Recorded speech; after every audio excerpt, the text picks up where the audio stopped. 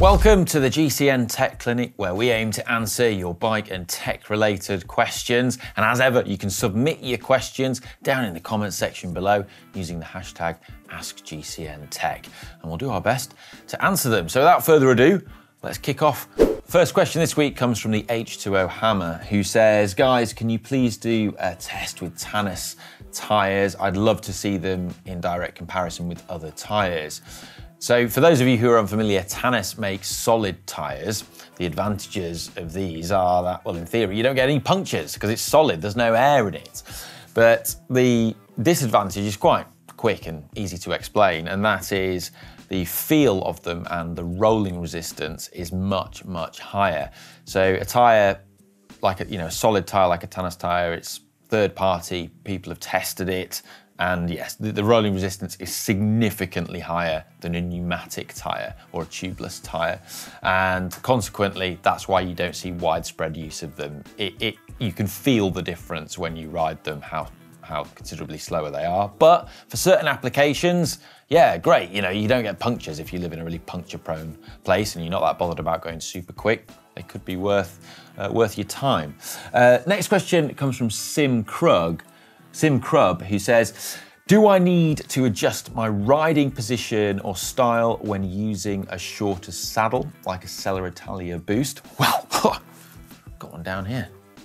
So this is a Selle Italia Boost saddle, and it is essentially similar to an equivalent you know, longer nosed saddle version. So for example, this is a, an SLR boost, but the standard SLR is the same profile, it just has a bit of a longer nose section.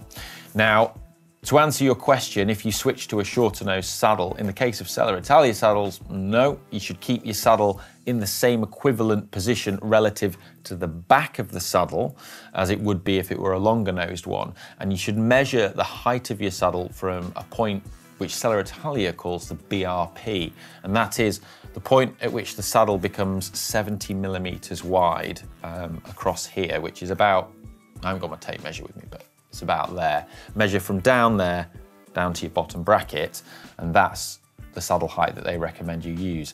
So if you mounted this compared to a normal longer nose saddle, it would be in the same position, but the longer nose saddle would finish bit further on over the bottom bracket. This would be further back. The idea being behind these short nose saddles, in Selle Italia's mind, is that the, the nose is actually not required and the idea is you sit in, in the saddle. I hope that answers your question. Uh, next we've got a question from JM Cycling Videos who says, I'm going to be racing a short flat 10, uh, 10 kilometre time trial in a few months and a TT bike isn't in the budget at the moment. What do you reckon is faster an aero bike with an integrated aero handlebar, uh, but no clip-ons on it, or a non-aero bike that's got a round bar so you can put clip-on tri-bars onto it? Well, it's a very good question, and well, it, it, could be either. The only way you'd know for sure in that specific case study is to test it, uh, as it could be either.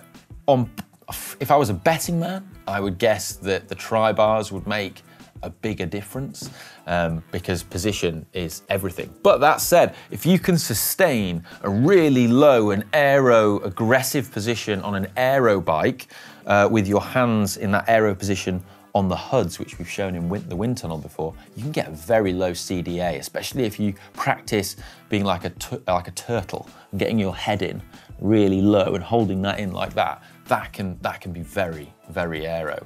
Um, whereas it might not be as aero for you if you're on tri bars. So yeah, you never know for sure. But the best thing in your case, considering it's in a few months, is you've got plenty of time to test it. So perhaps test both setups back to back on the same day on the same course, uh, and try and ride at a power that you can sustain, and see if uh, well which one's fastest. Uh, next question is from Michael Kelly, who says. Hi GCN, I would like to change my gears to climb some big classic climbs in Spain like the Angliru. Um, my group set of the people is Shimano 105. It's currently got a 5034, so a compact chain set, and an 1128 cassette.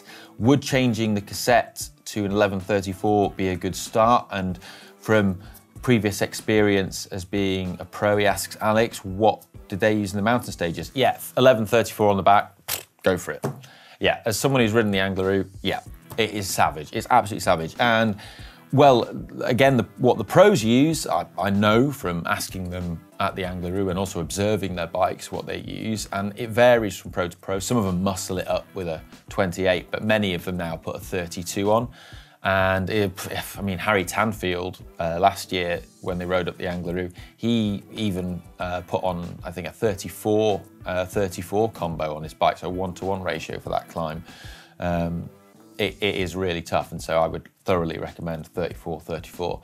I think with that, you should be all right with that one to one ratio. But, uh, well, only way is to find out and give it a go. But I would definitely say that 34 or 32 with a 34 up front is the is the way to go. Um, it is a it is a savage climb that one, as I well know. It nearly killed. That's the only climb I've ever had to weave on. It's savage.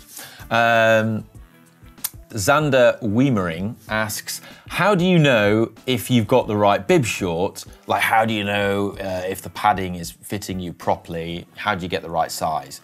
Well, if you've never owned a, a set of bib shorts before, um, this could be something that you're asking.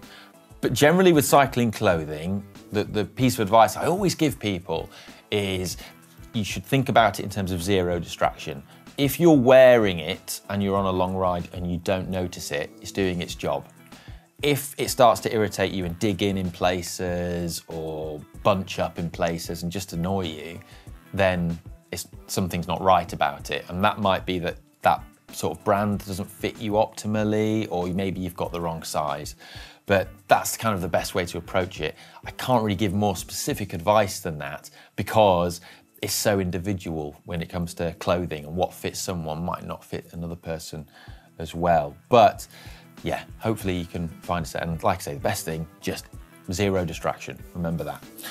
Uh, the next question is, well, two questions on the same topic. So we've got one from Stefan Hansen about latex inner tubes. Um, he says, do puncture patches work on them?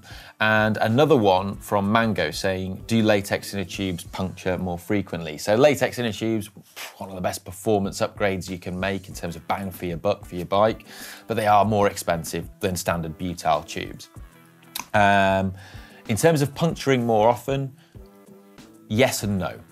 They, they don't puncture more often once they're set up inside the bike, because inside the wheel and they're set up properly, because the frequency of punctures is going to be the same as if you used a butyl tube, in that it's an object piercing the tyre that, that then causes the puncture.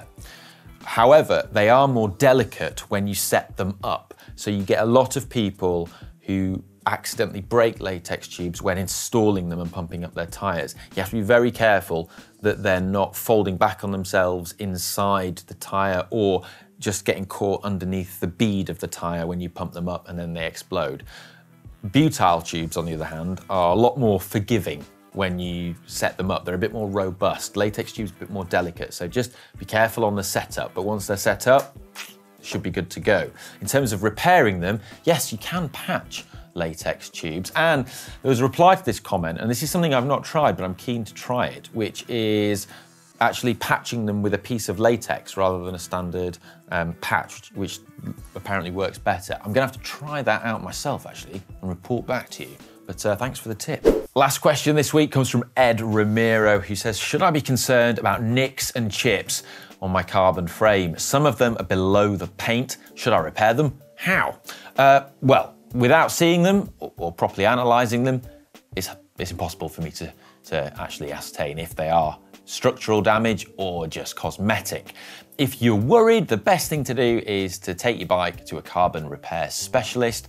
They'll have tools such as x-rays and things they can do to assess the damage on the frame and then advise you on appropriate action, whether that's no, you can leave it as it is, or if you're worried about the look of your bike and it's just cosmetic, probably fix it. I know several in the UK that are able to fix these things. Uh, a friend of mine had a custom paint job done on his bike and he just has some cosmetic scratches in it from last year and riding it around. He's actually getting that touched up by the person that custom painted it. Um, and that's a, service which they offer. So if it's just cosmetic, then custom paint specialists can touch things up. If you want to just touch up unsightly paint marks on your bike, then you can go to um, uh, an, an automotive centre and they have the little touch-up paints that they use for cars and car scratches and you could try using some of those. You can color match them. Only thing is though, is you, you're probably going to struggle to make it look like really good unless you are, you know, have amazing paint skills, uh, which I definitely don't have. Maybe get Manon to to do it. Anyway, uh, let us know how you get on um, with that particular issue. It'd be good. So please comment and let us know of your progress.